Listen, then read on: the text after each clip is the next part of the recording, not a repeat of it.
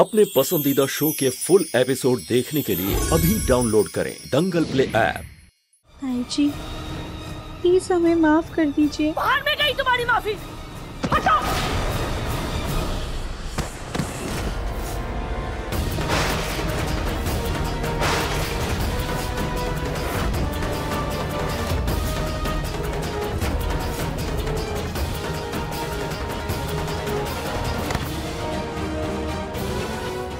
राधिका तुम? ठीक तो हो?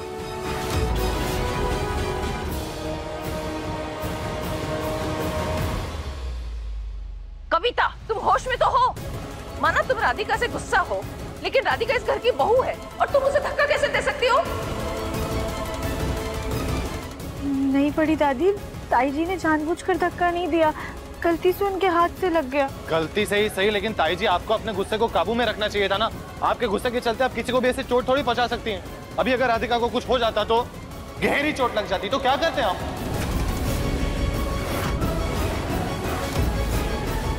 वाह देवर जी वाह।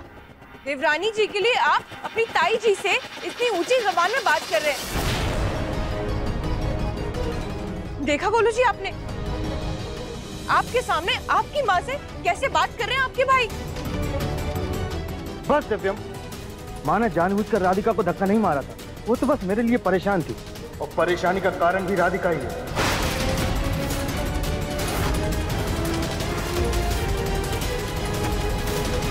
अगर राधिका मेरे मामलों में दखल नहीं देती तो ये नौबत ही नहीं आती। वाह गोलू वाह। अब तू अपनी बीवी की बातों में आकर के अपने भाई से ऐसे बहस करेगा?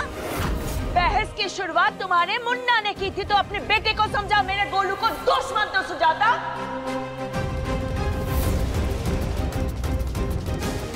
देखिए आप सब लोग प्लीज़ शांत हो जाइए। हम बिल्कुल ठीक है। अरे हमें तो लगता है देवरानी जी जानबूझकर गिरी है ताकि सब लोग हमारी सास जी पर इस तरह से चिल्लाएँ वरना जरा से धक्के से इतना भारी भरकम शरीर थोड़ी ना गिर जाएगा इसे।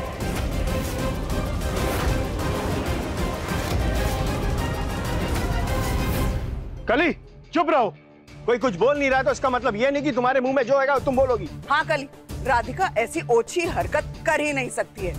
सारी सारी दादी सास जी हमसे तो बहुत बड़ी गलती हो गई है।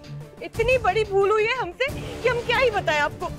क्योंकि हम भूल जो गए थे कि इस घर में चाहे गलती किसी की भी हो सुनना तो हमें हमारी सास जी को और गोलू जी को ही पड़ता है। क्योंकि गोलू जी देवर जी से कम जो कमाते हैं।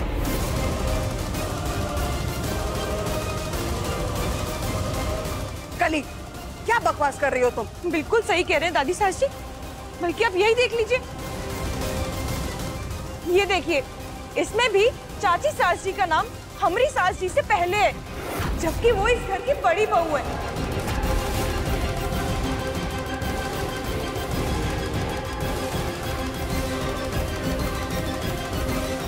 बिल्कुल सही कहा तुमने, कली बिटिया। बात कड़वी है, लेकिन सच है। भले ही इस घर के बड़े हम हैं लेकिन इस घर में फैसले कमाई के हिसाब से होते। हैं भाभी अगर आपको इतना ही बुरा लग रहा है ना तो करने दीजिए ना अपने बेटे गोलू को फोटोग्राफी। कमा लेगा वो भी दिव्यम जितने पैसे। बस करो तुम दोनों। क्या बस करे बुआ जी? हाँ? जो सच है वो सच ही है। गोलू बेटा आज ये बात तू अच्छे से समझ ले। दिव्यम का बैग और लंच उठाकर तुझे सम्मान नहीं मिलेगा गोलू। अगर तुझे इज़्ज़त चाहिए तो तुझे ज़्यादा पैसे कमाने होंगे। बहुत ज़्यादा। ताई जी क्या बोल रही हैं आप? कहाँ की बात को कहाँ लेके जा रही हैं? और प्लीज़ मेरे और गोलू भैया के रिश्ते में दरार लाने की कोशिश मत कीजिए। दिव्यम ये क्या तरीका है मेरी माँ से बात करने का? गोलू भैया आप भी देखिए ना कि ताई जी कैसे बात कर रही हैं। मुझे सब दिखाई दे रहा है और सुनाई भी दे रहा है। कैसे तू राधिका की गलतियों पे पर्दा डाल रहा है और सब पर उंगली उठा रहा है।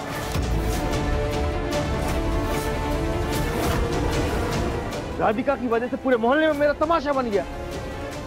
अगर इसको मेरी माँ ने कुछ बोल भी दिया तो क्या गलत किया? सॉरी गोलू भैया, हमने आपका हुनर देखा तो बस आपकी मदद करना चाहते थे। और हमारा यकीन मानिए हमने प्रोफेशनल फोटोग्राफी वाली साइट पे ही आपकी प्रोफ़ाइल अपडेट की थी कोई इश्तिहार नहीं छप पाया था। अगर आप लोगों को यकीन नहीं है तो ये लीजिए हमारा फ़ोन चेक कर लीजिए। नहीं देखना है मुझे कुछ।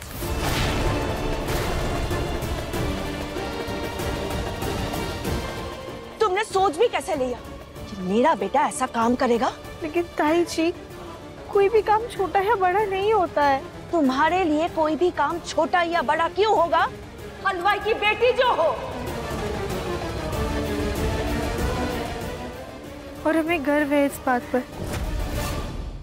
क्योंकि हमारे पापा बहुत मेहनत से अपना घर चलाते हैं। देवरानी जी आप कहना क्या चाहती है कि गोलू जी मेहनत नहीं करते?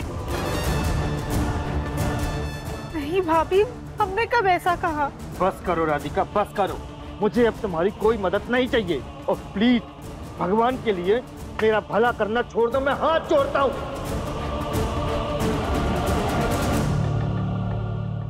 क्या कहा था मैंने तुमसे राधिका? कहा था ना कि गोलू भैया के काम में घुसना छोड़ दो। वो सिर्फ़ तुम्हें अपनी बहन मानते हैं भरोसा नहीं करते तुम पर। भरोसा इस बहन ने अपने भाई का तोड़ा है दिव्यम।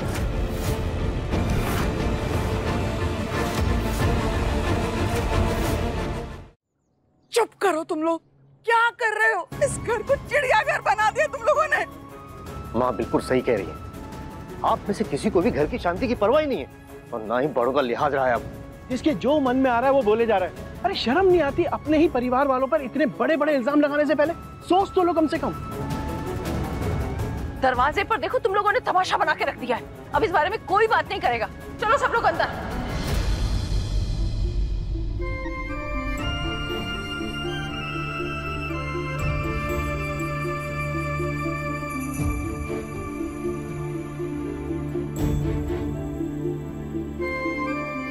जी ये सब क्या हो गया? हमारे घर को किसकी नज़र लग गई? सबर करो प्रभा।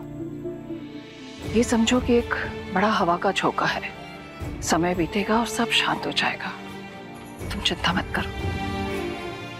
लेकिन जिज्जी राधिका को गोलो की फोटोग्राफी वाली बात का ज़िक्र नहीं उठाना चाहिए था। ये राधिका ने बहुत गलत कर दिया।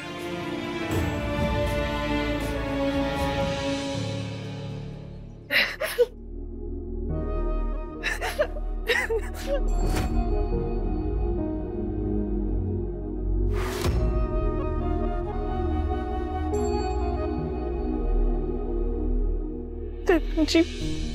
प्लीज़ हमें माफ़ कर दीजिए। हम जानते हैं कि आपके मना करने के बावजूद हमने वो ऑनलाइन पेज पर गोलू भैया की प्रोफ़ाइल डाल दी। प्लीज़ आप हमें माफ़ कर दीजिए, चाहे तो हमें डांट लीजिए, लेकिन हमसे नाराज़ मत होइएगा प्लीज़ मुझे जो बोलना था मैं बोल चुका और जो होना था वो हो चुका। अब उसके बारे में सोच के कोई फ़ायदा नहीं। लेकिन हम गोलू भैया के साथ चीज़ें सुधारने की जितनी कोशिश करते हैं वो उतनी बिगड़ती जा रही है। राधिका कुछ जख्मों को भरने के लिए ना वक्त देना चाहिए। गुलू भैया इस वक्त पुरानी बातों में इतने उलझे हुए हैं कि वो तुम्हारी कोई बात नहीं मानेंगे। कुछ नहीं सुनेंगे वो। राधिका रोते नहीं, सब्र करो। ये लो।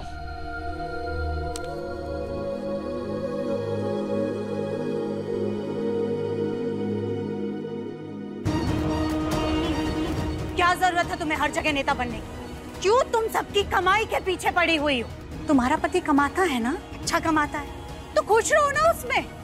अरे कोई कमाता है नहीं कमाता उससे तुम्हें क्या करना है? बस तुम्हारी इस फालतू की नौटंकी की वजह से हमारे घर में इतना बड़ा कलेश हो गया। हाँ एक बार रात मुन्ना!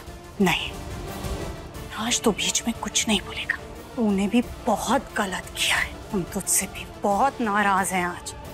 तुझे अपनी ताई जी से इतनी ऊँची आवाज़ में बात नहीं करनी चाहिए थी। अरे, इतने सालों में हमारे और भाभी के बीच में तो तू मैं तो होती चली आई है ना। लेकिन बात कभी इतनी नहीं बढ़ी कि घर में दो चूल्हे जलने की नौबत आए या तुम दोनों भाइयों के बीच में अनबन हो। लेकिन आज लड़की की वजह से वो भी हो गया।